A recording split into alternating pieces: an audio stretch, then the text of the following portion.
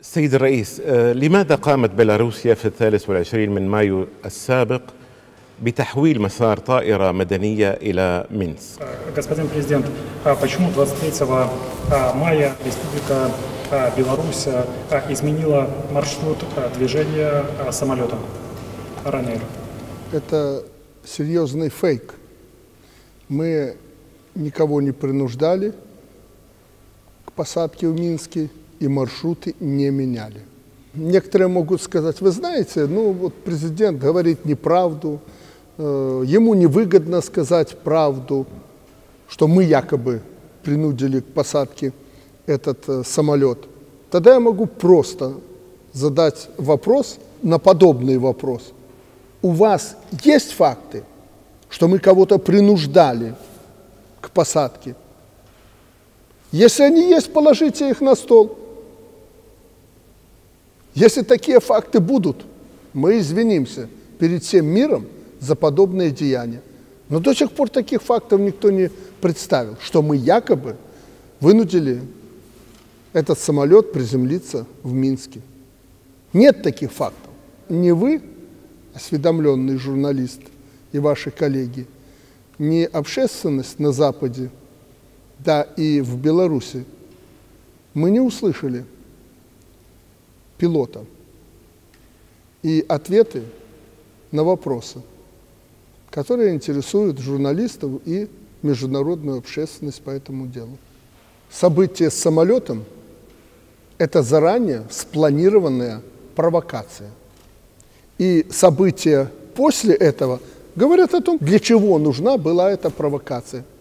Для того, чтобы сделать очередные шаги по удушению Беларуси, чтобы не допустить ее дальнейшего развития.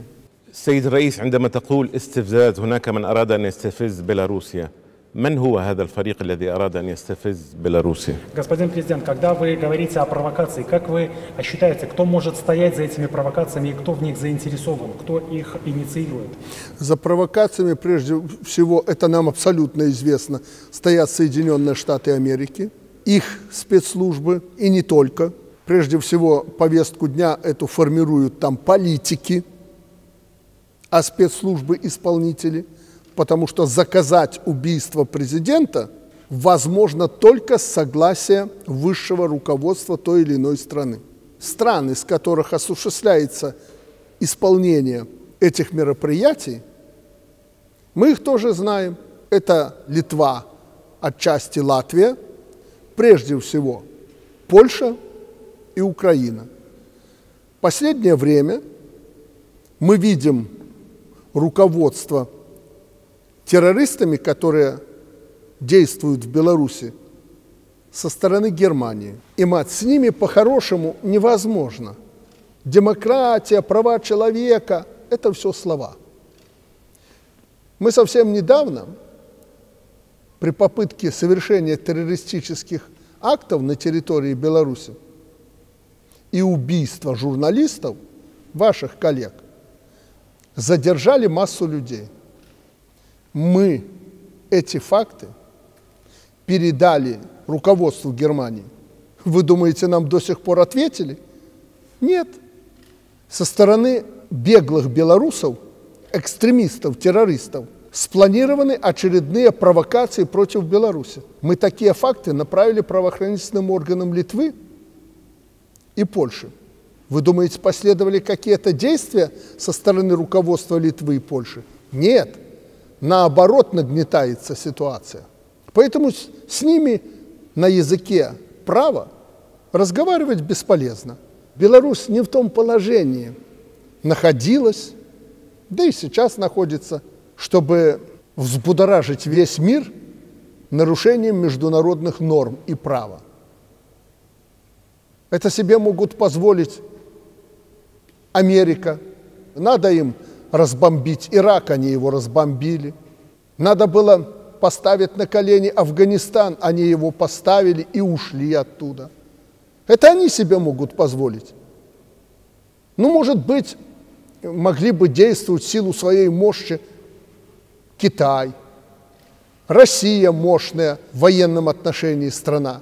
Но не мы, мы знаем свое место. Но а коллективный Запад во главе с Вашингтоном, они не могут нам позволить быть суверенными и независимым государством. А мы говорим о том, что это наше право быть суверенными и независимыми и определять свою политику. И мы добиваемся этого права, мы его защищаем и будем защищать. سيد الرئيس بيلاروس آه، جزء من اوروبا هل هناك اي اتصالات اي حوار مع الاتحاد الاوروبي اي وساطه حاليا Э, Господин президент, а Беларусь является частью Европы. Имеется ли сейчас а, какой-то диалог или посреднические услуги а, в выстраивании этого диалога с Европой? Э, Беларусь не только, м, уважаемый Имат, часть Европы. Беларусь – географический центр Европы. Во-вторых, что касается диалога с Европой, ну, вы видите, какой у нас диалог. Это трудно назвать диалогом в этой ситуации. Что касается посредников, я вообще не люблю посредничество всякое, но э, если, уважаемый Имат, твоя страна будет посредником в этом диалоге, я не откажусь, потому что это объективные люди, честные и порядочные. Поэтому, если европейцы принимают ваше предложение к диалогу и посредничеству, то Эмираты могли бы стать таким посредником. Я за.